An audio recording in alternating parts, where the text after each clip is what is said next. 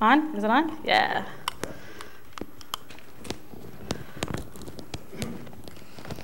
Okay. Um,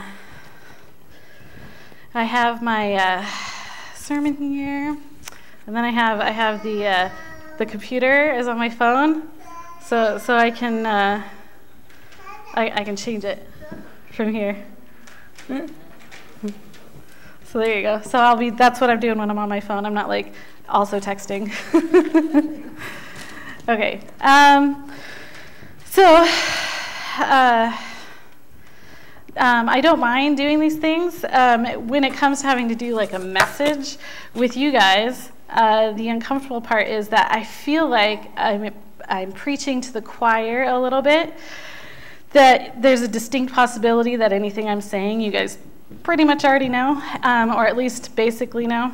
Uh, so I'm going off of the quote, you can know a little bit about a lot of things or a lot about a few things. So today's thing is I hope to deepen something you already probably uh, know a little bit more about as you go through life anyway. And I'm going to be reading the whole thing, which isn't quite as cool as if I was up here just talking because I know everything and I can't, I can't do that.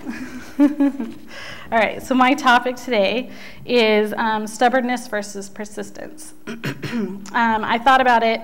Alan asked me if I could um, maybe do it, and I'm like, I mean, I don't mind doing it. I don't have anything that's rattling around in my head that I'm like, oh, that'd be cool to like do a message on or talk on for one of those um, journeys or anything like that. Nothing bouncing around. So I thought about it, and um, a couple years ago, I was part of a conversation at VBS that led to a discussion on free will and God's decision to give it to us. And I can't say that I've ever spent time contemplating free will. Um, what got me was that we have free will, and God thought, you know what? Let's make life extra salty and add stubbornness to the mix. I mean, this is a this is a thing that has followed me most of my life because I started out extremely stubborn. I would say I was even obstinate in my stubbornness. Um, my six-year-old self would refuse to eat this or wear that, or even refuse to forgive my siblings for the smallest thing. Um, I'd know I was wrong, and I would loudly proclaim I was right. even one time, in um, third grade, mom tried to help me edit one of my papers for school, and eh, I was right. I mean, I knew I was wrong. But it was my paper, and that's fine that I got a D on it. so that's that got me. Um, once I planned a road trip with friends fresh out of high school, and uh, we all came down with the stomach flu. Both ends stomach flu. Did that stop me from being like, no, this is happening? I planned this, this is what's happening, we're going to go, and this is going to happen. And we went, and that is, that was terrible. We should not have gone. um, uh, so I was told I was stubborn all my life, and I claimed it, and it was a prominent character trait. And then I got married. And you know what you should avoid being when you are married? You should avoid being stubborn. Uh, you do not want to win everything in your relationship if you want harmony. You don't want to dig your heels in on every little thing. I mean, it does teach your husband patience, so there's a little silver lining there for that. Um, anyway, uh, so there's a story that I came across when I was when I was looking uh, up stuff for this, and it goes. Um, this is a true story, by the way. There's a place between two farms near Valley View, Alberta, um, you will find two parallel fences running only two feet apart for about a half a mile. Why are there two fences when only one would do? Well, two farmers, Paul and Oscar, had a disagreement that erupted into a long standing feud. Paul wanted to build a fence between their land and split the cost, but Oscar was unwilling to contribute. Since he wanted to keep cattle on his land, Paul went ahead and built the fence anyway. And after the fence was completed, Oscar said to Paul, Oh, I see we have a fence. What do you mean, we? Paul replied. I got the property line surveyed and built the fence two feet into my land. That means some of my land is outside the fence. And if any of your cows set foot on my land, I will shoot it. Oscar knew Paul was not joking, so when he eventually decided to use the land adjoining Paul's for pasture, he was forced to build another fence two feet away. Oscar and Paul are both now gone, but their double fence stands as an unfortunate monument to the high price we pay for stubbornness. So, you see what I mean? Seriously, what was God thinking? He just made his job harder, and not to mention our lives harder. In Exodus 33 5, he said to Moses, Tell the Israelites, you are stiff necked people. If I were going to go among you, even for a minute, I might destroy you.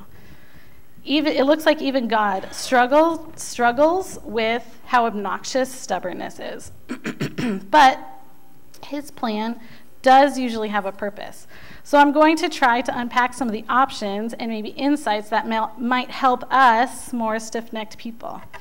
First, stubbornness.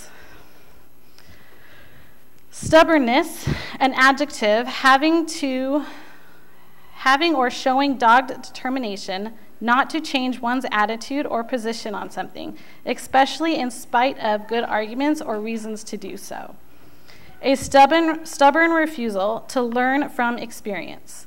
Obstinate, stubborn as a mule, mulish, headstrong, willful, strong willed, self willed, pig headed, bull headed, all these things. Um, stubbornness is a result of someone who is determined not to change their attitude, opinion, nor their position. Angry, stubborn people are defensive, unteachable, and refuse to take correction. You would even say they were obstinate, obstinately selfish. Being stubborn isn't always horrible. Um, the terrible thing, the bad thing, is when it's displayed as childish behavior. Stubborn children are not flexible or manageable or teachable. They won't bend, nor do they budge. They insist on making their point, and even when they are wrong, they will never admit it. They are visibly angry and frustrated and impatient when other tries to others try to persuade them to do something they don't agree with. Sound familiar? um, the Jews are notoriously stubborn, and yet they are God's chosen people. There is, a story, there is story after story of God's frustration with their stubbornness, and rules and laws with how to curb and punish those who succumb to it but they're God's chosen people, so there has to be a reason for Him being like, yes, the, I, I want them to have this attitude. We just have to refine it in some way. There's a quote that says, stubbornly clinging to one's opinion is the best proof of stupidity. As a stubborn person, I don't like that. That's, that's not going to work for me. So then there's a there's a verse in the Bible, Proverbs 15:32 that says, "He who refuses correction despises his own soul, but he who listens to reproof gets understanding." That's more my style. It's got a plan of action that I can work with. So, what gets me around the stubborn pride? What can we do with this ingrained character flaw? That's where the word persistence comes in. It is also an adjective that means continuing firmly or obstinately in a course of action in spite of difficulty or opposition. The synonyms are tenacious, preserving, persevering, sorry, determined, resolute, purposeful, single-minded, tireless, patient, diligent, untiring, unwavering, and relentless. So wait, how are those different? They kind of still sound like it's being stubborn. so I'm going to leave this one up here and say stubborn again so you can. Um, stubborn was having or showing dogged determination not to change one's attitude or position on something, especially and in spite of good argument or reasons to do so. So there's a difference. As adjectives, the difference between stubborn and persistent is that stubborn is refusing to move or to change one's opinion, firmly resisting, while persistent is tenaciously refusing to give up or let go. I believe we should all avoid being stubborn and strive instead to be persistent. Persistent gets us over hurdles, through tough times, past confusion, and further down the road to success precisely because you're willing. you're willing. My time's up. Okay, we're done. um, so, down success further down the road to success precisely because you're willing to do anything to get to that point. Learn, bend, listen, being open for any new information that will get you to that goal. Stubbornness just gets us into trouble with pig headed inability to hear, listen, or change in any way. And worse, you have no intention of listening to outside counsel, even if that outside counsel is God. Persistence is a matter of the heart. Stubbornness stems from pride. It is an unwillingness to yield to wisdom. Stubbornness is, I am right and you are wrong. It's all about the motives. Persistence is motivated by faith, and stubbornness is motivated by selfishness. Persistence is willing to correct course. It is open to wisdom. It is not as concerned about how we get to where we are going, as long as we get to where we are going. Stubbornness is focused on, well, we're doing it my way. And even if that means we're not going to reach the destination we planned on, we did it my way. Persistence is focused on results. Stubbornness is focused on the method to do it. Persistence says, let's figure this out, and stubbornness says, yeah, my way. Persistence pursues wisdom. It values dialogue and is open to new ideas. Stubbornness is closed off to suggestions. Stubbornness fails to value the input and wisdom of others. Persistent looks to God for help. Stubbornness says, I've got this, I don't need any help, which is so obnoxious it's really hard to ask for help. Just think of it this way. In Proverbs 27 17, that's the one about iron sharpening iron. Is the iron stubborn or persistent in that verse? Are you willing to be sharpened? Okay, so I've laid the groundwork. I don't want to be stubborn. I want to be persistent. I want to be tenacious and relentless and unshakable in my faith.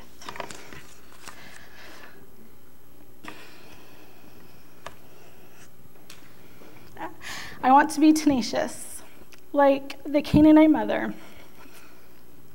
I'm gonna take a drink of water.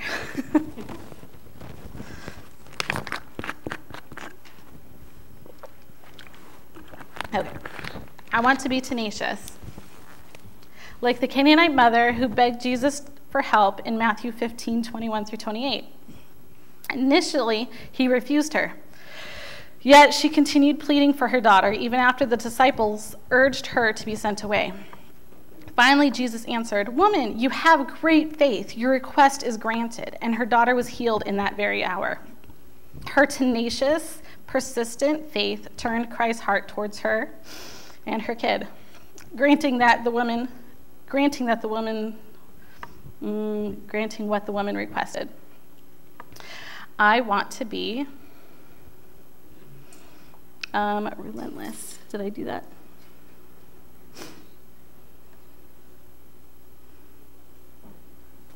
I want to be relentless. The parable of the persistent widow, found in Luke 18 1 through 5, illustrates how our relentless determination can get us what we desire. it reads Jesus told his disciples a story to show that they should always pray and never give up. There was a judge in a certain city, he said, who neither feared God nor cared about people. A widow of that same city came to him repeatedly, saying, Give me justice in this dispute with my enemy. Repeatedly.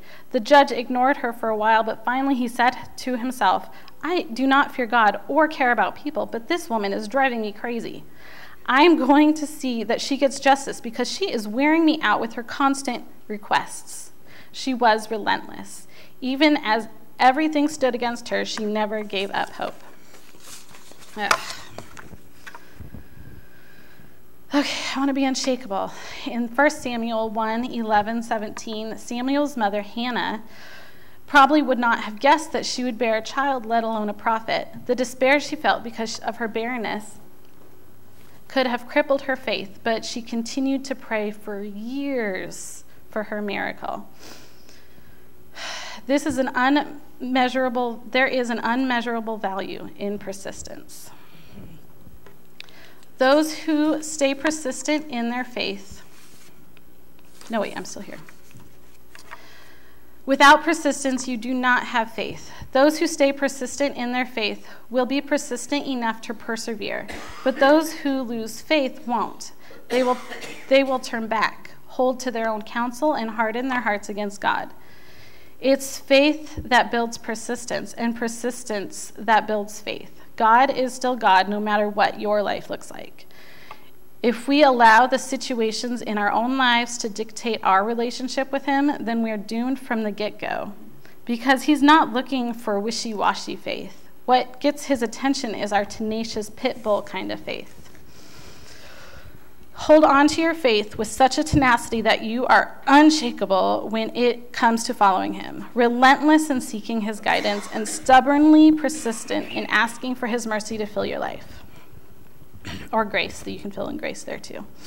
One of God's most important factors in successful faith is persistence, not stubbornness. If you want to succeed in anything, you need persistence. If you want a solid marriage, persistence is a vital ingredient. If you have a goal in mind, then persistence will get you there.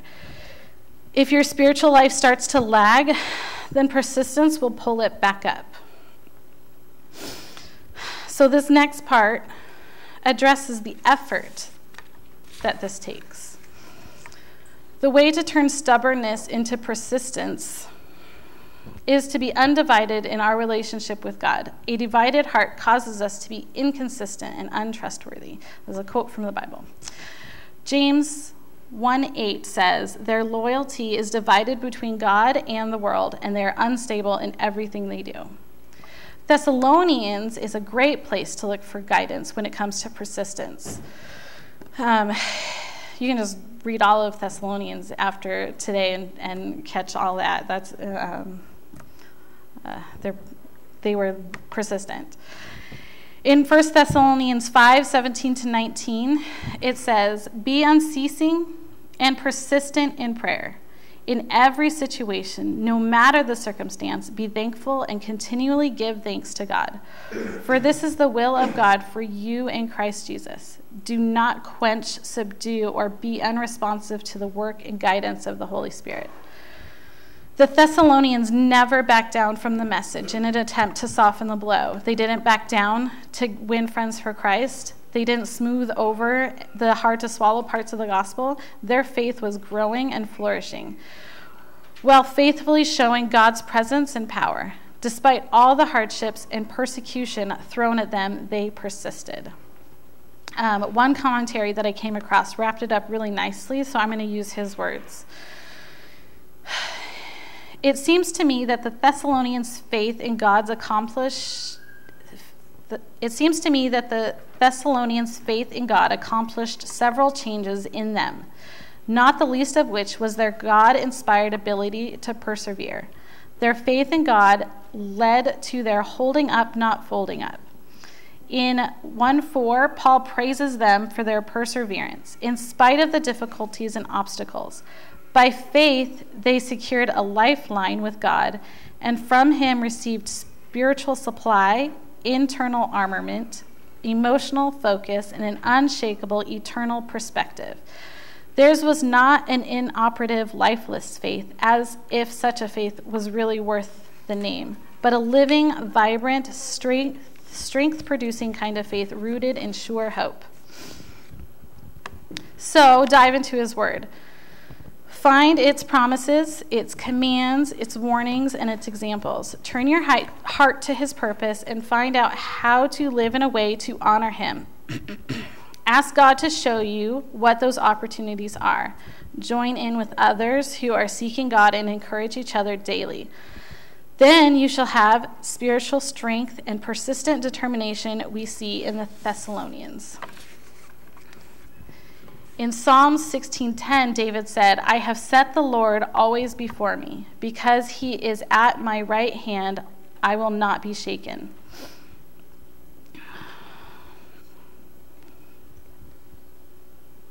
Oh, I'm not there. Um, and in Ephesians 6:18 it says, Pray in the Spirit at all times and on every occasion. Stay alert and be persistent in your prayers for all believers everywhere. Being aware of God's will and aligning your path to follow His is the most straightforward, positive use of persistent stubbornness.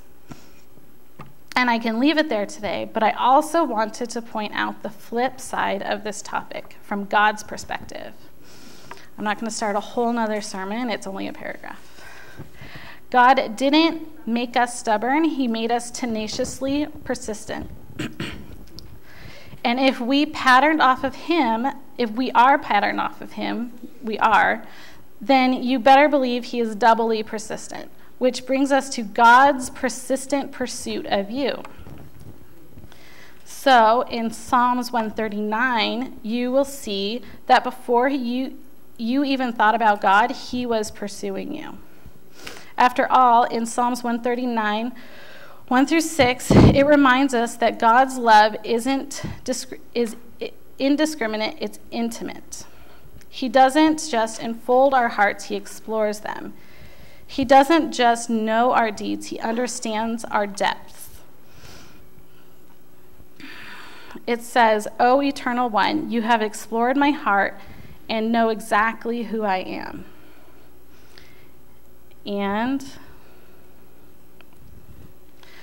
it is the most amazing feeling to realize how deeply God knows me inside and out. I truly cannot begin to comprehend it.